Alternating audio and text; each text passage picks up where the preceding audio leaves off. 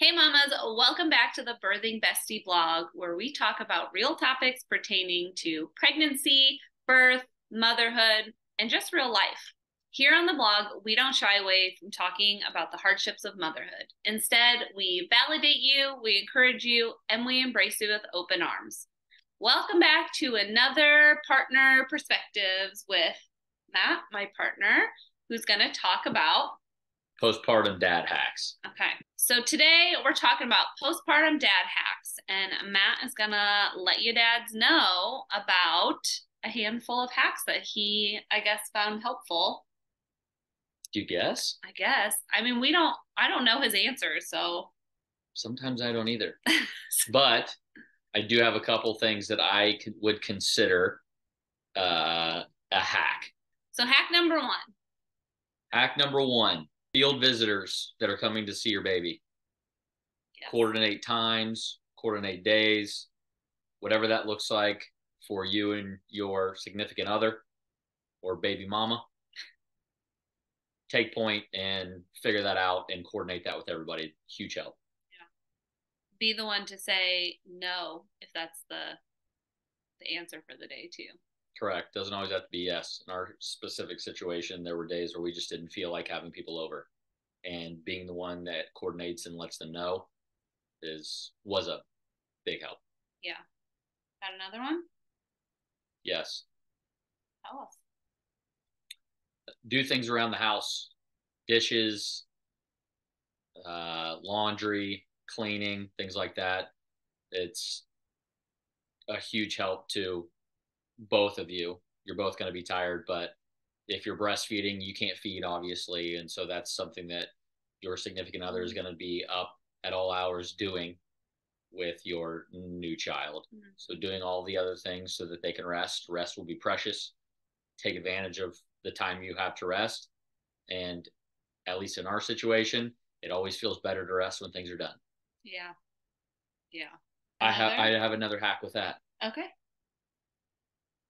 Also, if you're too tired to do them, rest. Yeah.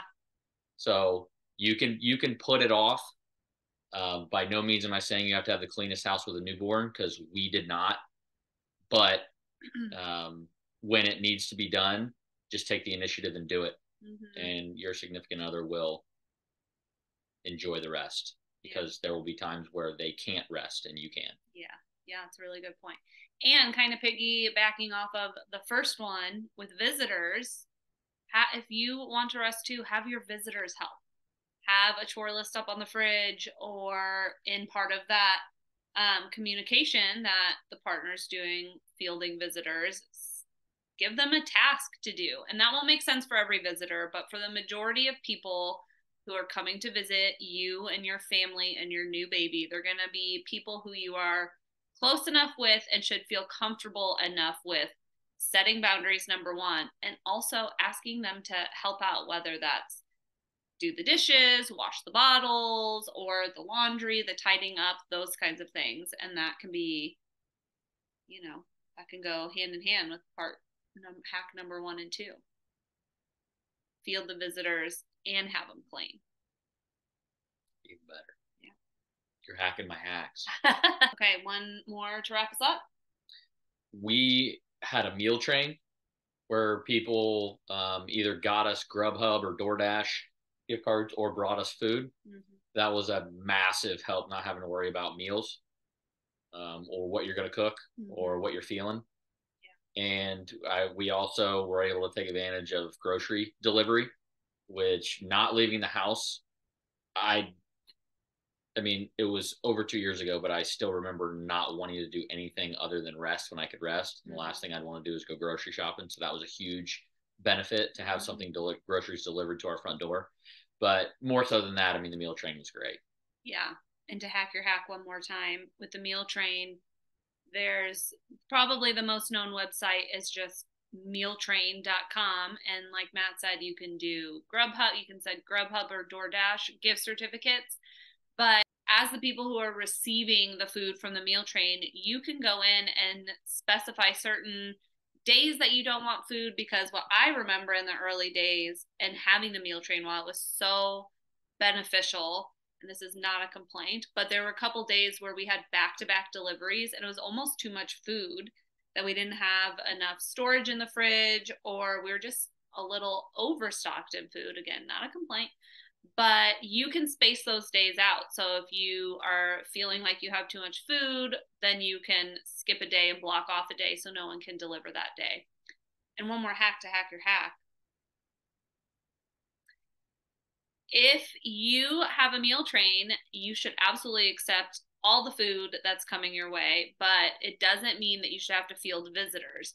So, if it's one of those days where you don't want visitors, but you have someone who wants to bring you food, put a cooler on your porch and have a note on top of the cooler. You can download a template at ebbirthing.com forward slash resources for mama. It's a cooler template that just says, thanks for dropping off food let us know that you left something. We're not having visitors at this time. And that way you don't have to entertain people just because they're bringing you food. Well, Mama, that's a wrap on this partner perspective on postpartum dad hacks. Send this to your partner. And if you have any hacks that you want to add or things that we left off, share them with us. We want to know what made your life easier in the postpartum phase so we can pass them on to other mamas who are joining the new life of parenthood. So always feel free to slide into my DMs at ebbirthing on Instagram or email me at ebbirthing at gmail.com. And if you need any other support in your journey, I'm just a click away. Okay, until next time.